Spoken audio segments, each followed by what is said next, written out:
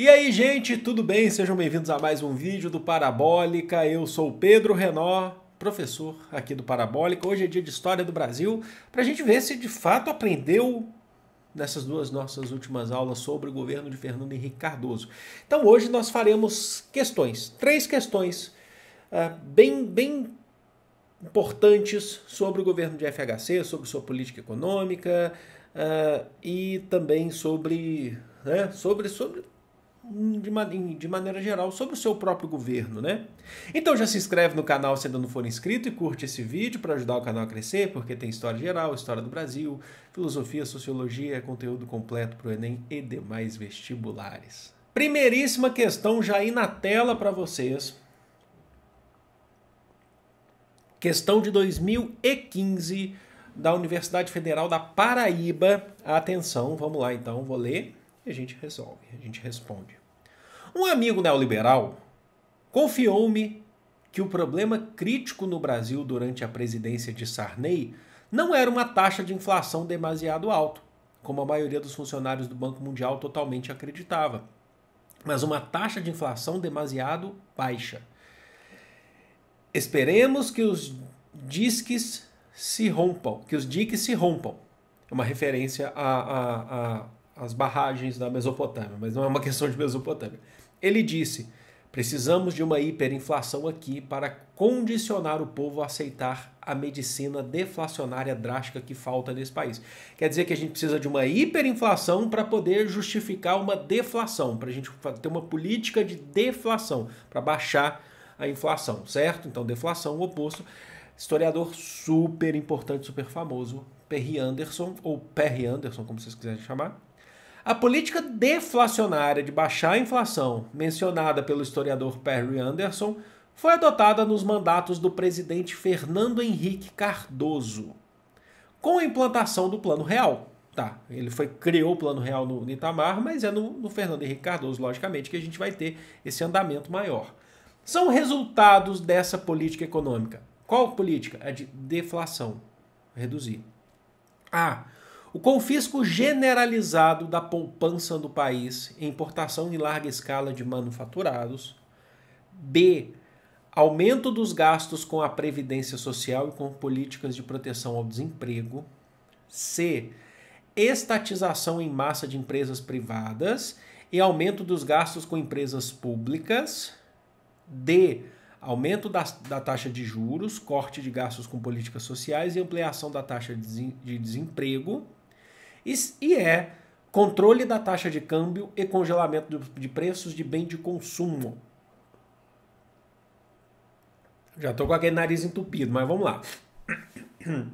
ó, então, ó, vou ler o enunciado só de novo. A política deflacionária de reduzir a inflação, tirar a inflação, mencionada pelo historiador Perry Anderson, foi adotada nos mandatos de Fernando Henrique Cardoso, com a implantação do Plano Real são resultados dessa política econômica.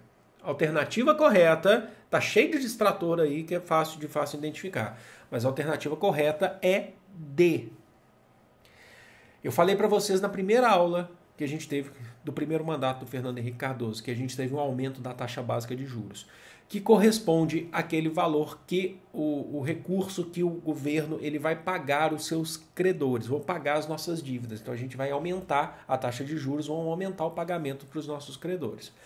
Corte de gastos com políticas sociais, justamente porque se trata de uma política neoliberal. Por mais que o governo ele não gostasse de, de, assumir isso, se trata de uma política neoliberal. Então você corta programas sociais, projetos sociais. Você mantém alguns, cria outros, mas no geral você não tem uma política voltada só para projetos sociais, entendeu?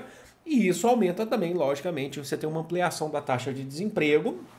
Isso é muito importante que vocês saibam ah, que quando você aumenta a taxa básica de juros, ah, o que, que acontece é que você tem menos investimentos no país, inclusive. Né? Você está pagando seus credores, você tem, acaba tendo menos investimentos no país. Agora, quais são os distratores? Essa questão dava para você responder pelos distratores. O A, confisco generalizado. A gente sabe que isso aconteceu em Collor, não no FHC. Tá? Então já, a, a questão já parou aí. B. Aumento dos gastos com a previdência social não aumenta gastos com a previdência social, gente. A gente está falando de uma política neoliberal que não vai investir tanto no público, entendeu? Se é um governo neoliberal, redução de gastos públicos, tá? Então, paramos aí. A C é o maior, distrator. Estatização em massa em empresas privadas. Não é estatização. O que, que a gente teve de é privatização em massa de empresas estatais. É o contrário, tá? Não precisa nem ler o resto da, da, da alternativa. E a E diz controle da taxa de câmbio, você pode até imaginar, algum tipo de controle da taxa de câmbio quando se aumenta a taxa básica de juros. Só que aí o problema está aí, ó, congelamento de preços de bem de consumo. O governo do FHC ele valorizava a livre concorrência, então não tem aumento, é, é, congelamento de preços ele prezava pela livre concorrência. Então, alternativa D, aumento da taxa de juros, principalmente. Próxima aí eu achei bem interessante porque ela dá um gráfico para a gente. Essa questão foi cobrada na UENG, Universidade do Estado de Minas Gerais. Vamos lá. Também relacionada à questão do câmbio, né? Em 1994 tem início o Plano Real, que foi implementado pelo então presidente da República, Itamar Franco. Foi lá no Itamar estruturado por seu ministro da Fazenda, Fernando Henrique Cardoso. Passados 20 anos, são notórias as melhorias no ganho em estabilidade, no respeito internacional e na melhoria de renda e qualidade de vida interna de nossa nação. É impossível não se lembrar dos dias de inflação galopante que nos corroía a moeda e a esperança. Como diz Lia Luft em sua obra O Tempo é um Rio que Corre, a memória é a guardiã da vida. Na imagem abaixo fica notório como a inflação corroía nossa economia. Olha só como é que. A gente falou isso aqui, inclusive, né? É, em 1970 nós tivemos aí esse cruzeiro, ó, valendo. Quando a gente chega em 80, né? Em década, tá? Não, não necessariamente um ano. Aí você tem a vigência do cruzado, cruza, passa do cruzeiro, corta os três zeros da moeda. A gente mostrou isso na aula de Sarney, inclusive. A gente vai lá e transforma o cruzeiro em cruzado. Só que pouquíssimo tempo depois, ainda na década de 80, o cruzado vai para cruzado novo. Vocês lembram que eu falei que fica, eles colocam até um carimbinho, porque não dava tempo do banco enviar, é, emitir tantas moedas, tantas notas? Depois do cruzado novo, ainda no, no na, entrando já no Collor, né? É, a gente volta para o Cruzeiro. E depois do Cruzeiro, olha lá, Cruzeiro Real, já no Itamar. E depois o Cruzeiro Real tem a URV, que não consta aqui porque ela não é uma moeda oficial, tá? Ela era um câmbio virtual, né? Que era só para fazer a transição. A gente entra no real, vigente desde 1 de julho de 1994. Então isso mostra um pouco da nossa, do nosso descontrole, né? da, da crise que o Brasil vivia de ter que ficar trocando moeda, especialmente naquela de cortar três zeros para tentar valorizar e nada dava certo. Questão. Para corrigir a estrutura econômica decadente do país, o Plano Real foi estruturado em uma política de. Ele foi estruturado em que tipo de política? A. Valorização cambial para estimular a importação e a livre concorrência e a criação de uma moeda forte. B. Cortes de zero para recuperação de valores monetários e criação de programas sociais para melhorar a distribuição de renda. C calote internacional, fortalecimento das micro e pequenas empresas e a redução de gasto público. D. Dolarização da economia, substituição dos índices que mediam inflação e ajustes fiscais nas contas do governo. Para para pensar, gente. Essa pode ser um pouquinho mais difícil do que a outra, mas tem distratores que são, alguns deles são bem sutis. Alternativa correta do uh, como que o plano real foi estruturado, né, para poder uh, manter uma, uma a, a, relação econômica, corrigir a estrutura econômica do Brasil. Alternativa A. Ele foi estruturado uma política de valorização cambial. Ele só saiu o dia que a ORV estava conseguindo chegar perto do dólar ou bater o dólar. Ele só saiu com aquela moeda transitória que eu falei para vocês. Para estimular a importação e a livre concorrência. Você tenta ter uma moeda forte, tá, inclusive criação de uma moeda forte, onde as pessoas vão tentar, vão ter, de certa forma, um aumento do poder de consumo com uma moeda forte, então você importa. Tá? Isso teve um problema porque isso reduziu a exportação do Brasil. Isso pode ter aumentado a importação, mas reduziu a exportação.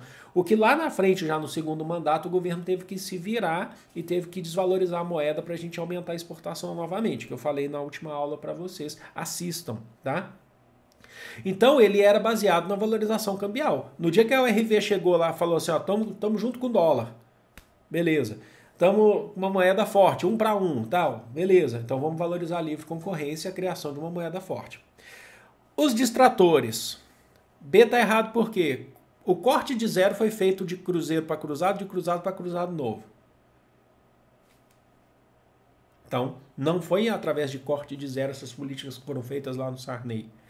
A C.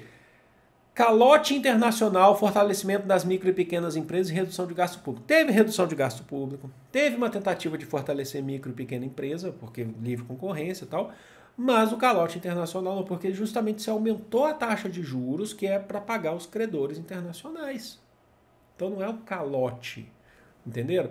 Na época até tinha gente que defendia a ideia de, de, de, de decretar moratório, falou, não, paga só a dívida, mas esquece os juros. Mas o governo ele queria manter as boas relações internacionais, que era importante, né? acreditava que era importante manter essas boas relações, inclusive economicamente. Né? Tanto é que eu já falei para vocês que o governo do FHC aumentou a dívida, ele fez mais dívidas, né? ele não fez cala. E para fazer mais dívida você não pode ser um mau pagador, porque senão, inclusive o FMI fala, não, você já está devendo, você deu calote, a gente não vai te dar, é, não vai te dar mais empréstimos. Entendam isso, inclusive em relações internacionais. Há alguns anos atrás, quando Espanha passou crise, a Grécia passou crise, ah, que anunciou que, que que inclusive ameaçou decretar moratória, aí o FMI falou, tudo bem, você decreta, mas você não vai ter mais recurso nosso. Essa é a questão, tá? A D diz dolarização da economia, substituição dos índices que mediam a inflação. Não, não há, se eu não me engano, não há essa substituição e ajustes fiscais nas contas do governo. O que está errado nesse sentido também, ajustes fiscais nas contas do governo. Você mantém, tá? Você não faz uma substituição necessariamente. Então, a alternativa correta, então, que eu falei para vocês, é a. É uma política de valorizar o câmbio, estimular a importação de livre concorrência e a criação de uma moeda forte. Essa é a questão.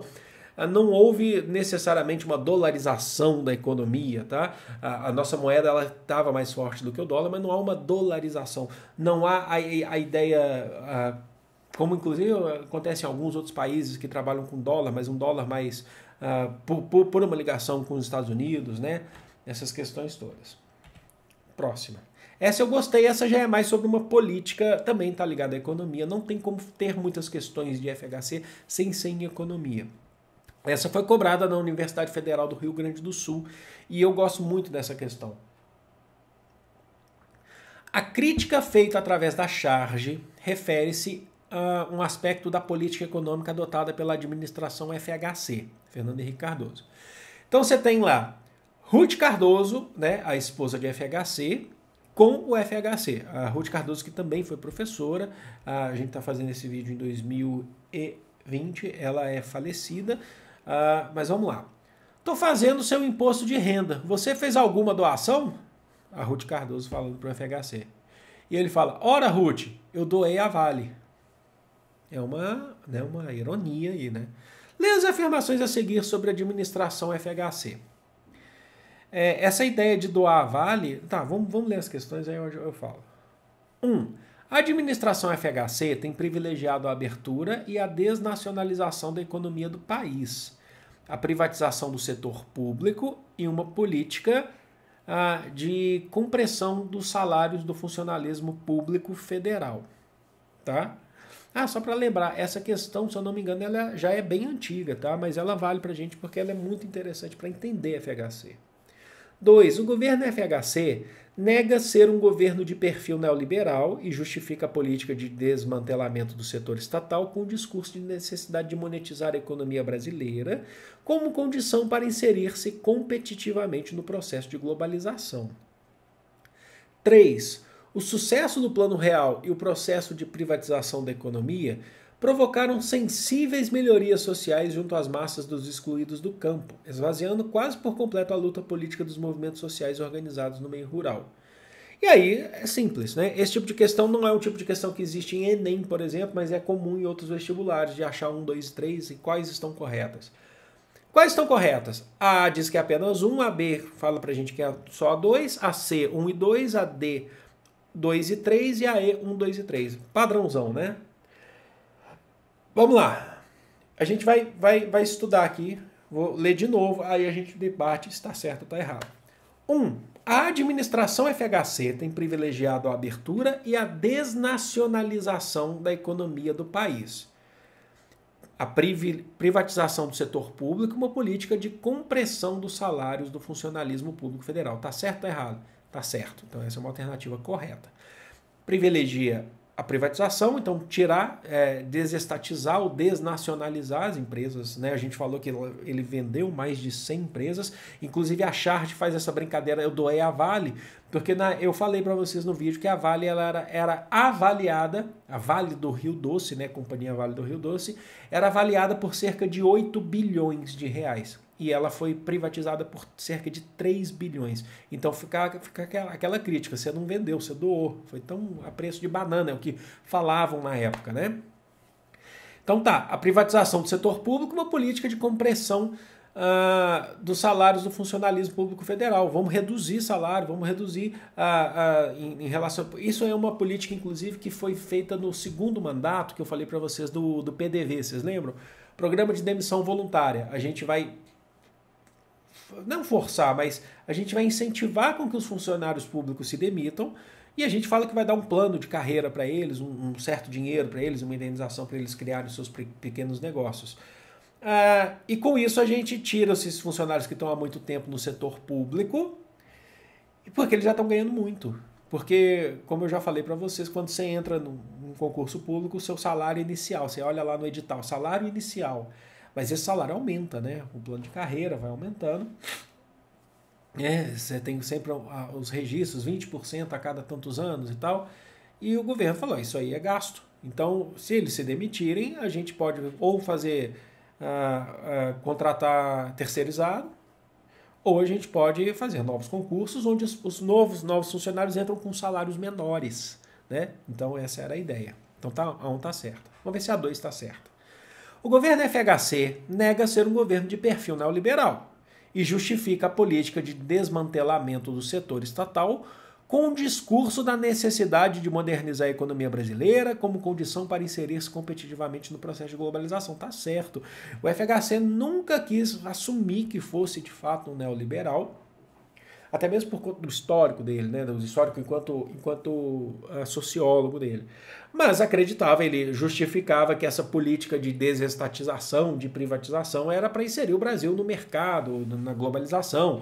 Né? Como acho que o exemplo que eu falei para vocês na aula, na primeira aula, sobre a, a privatização do setor de comunicação do Brasil é muito claro. É, você tinha o setor de comunicação que era estatal, ele foi privatizado, os estaduais né, foram privatizados, e aí você tem a compra uh, da, da, por, por empresas estrangeiras que vão fazer lá internet, celular, telefonia móvel, telefonia fixa, no sentido de tentar modernizar. Certo? Foi uma justificativa do governo. Não, a 2 está certa. Agora, o que vai definir aqui para a gente é se a 3 está certa ou não. O sucesso do Plano Real e o processo de privatização da economia provocaram sensíveis melhorias sociais junto às massas dos excluídos do campo, esvaziando quase por completo a luta política dos movimentos sociais organizados no meio rural. Tá certo ou tá errado? Tá errado. Gente, a luta política no meio, no meio rural aumentou dos movimentos sociais. Eu citei para vocês, inclusive, o massacre de Eldorado dos Carajás, que 19 sem terras foram mortos certo? Por conta da política, porque o governo ele era atrelado ao, ao interesse do capital, logicamente, ah, e, e você tinha você tem latifúndio no Brasil, que, que você tem toda uma questão de agronegócio. Então, a luta política, só o exemplo, se você lembrar da, da luta política dos movimentos sociais, que eu até citei para vocês na aula, que na época saiu até novela, O Rei do Gado, né, que tinha, que abordava o sem terra. O Fernando Henrique Cardoso ele, ele, ele se colocava apto a defender a luta dos sem terras, mas ao mesmo tempo você tinha esse peso na balança dos latifúndios, do agronegócio no Brasil, que é muito forte, entenderam? Então, quais são as corretas? São 1 e 2. Então, alternativa C, entenderam? É isso, espero que vocês tenham acertado, espero que vocês tenham gostado. Eu quero que vocês deixem nos comentários se vocês acharam essas questões fáceis, medianas ou difíceis. Por que, que é importante vocês me falarem isso? Para a gente poder ir organizando outras questões aqui, ah, no sentido de tentar ver novas questões, procurar novas questões, ou fazer minhas, minhas mesmo, do próprio punho, para a gente poder estudar. É muito importante resolver exercícios para estudar. Não adianta só ficar sabendo matéria, aí chega na hora a gente não consegue colocar no papel. Então por isso que eu estou fazendo isso aqui, certo? Eu vou ficando por aqui, amo vocês de todo o coração do mundo, grande beijo, fui!